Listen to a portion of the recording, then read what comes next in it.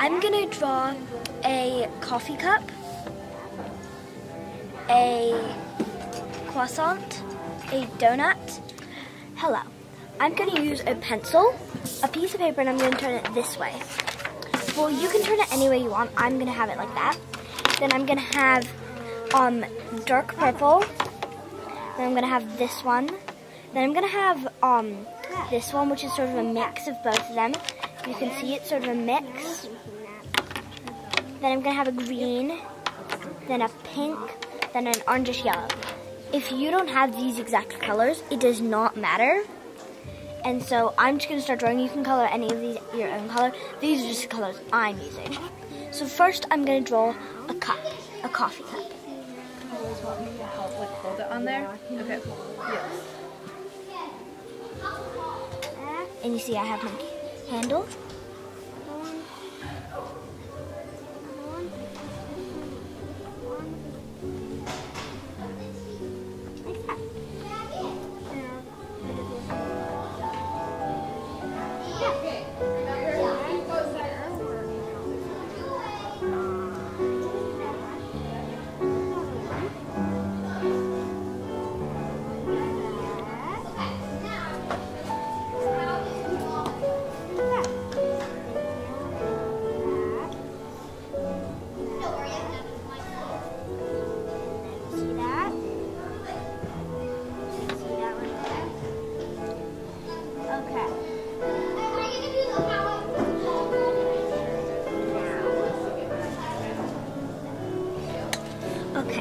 I used, this is like quick and simple.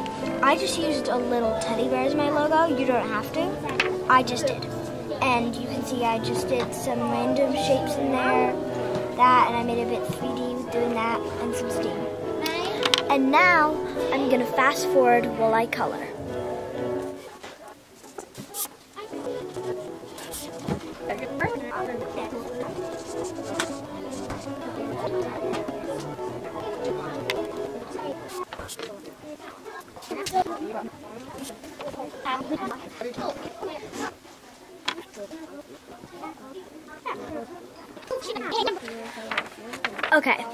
We're done with our teacup.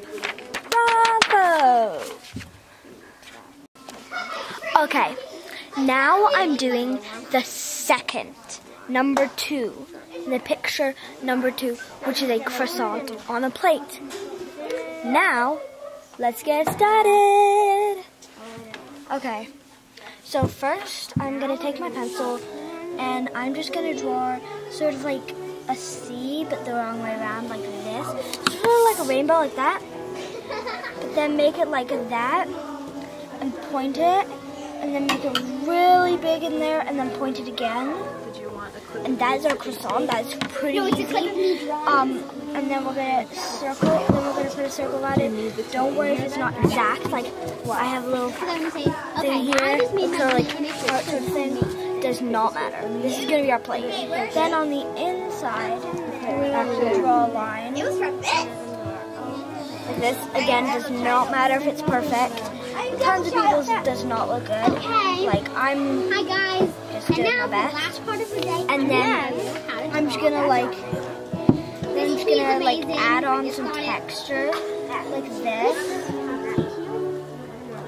Now, And you don't have to do texture exactly like me, but I would. I'm gonna cut it it's like and um, do a close up it's um, a good way to add texture and So what like can add like draw, you do this, and then I'm sort of doing it in a pattern. But I'm gonna- then I'm just gonna go in, Yeah, you can do a add some of your own lines, Now, for some more texture because croissants have a lot of texture, and that that, and then I'm gonna add in just like you would think scribble sort of like it's actually we are ready to go thickness. outside.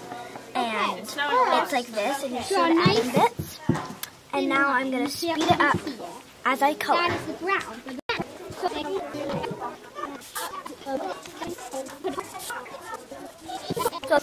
Okay, we finished our croissant.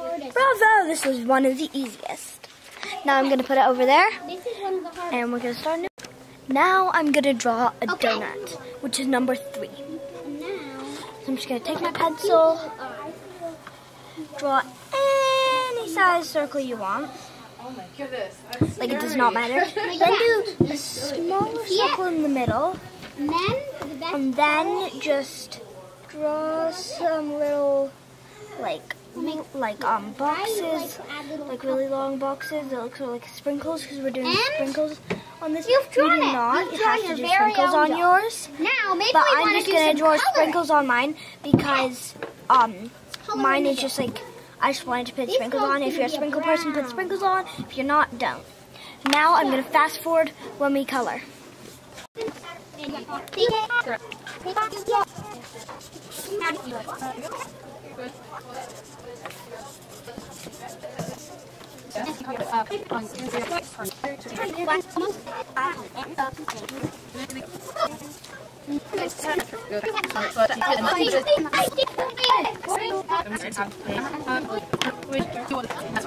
We're all done with our donut. Bravo!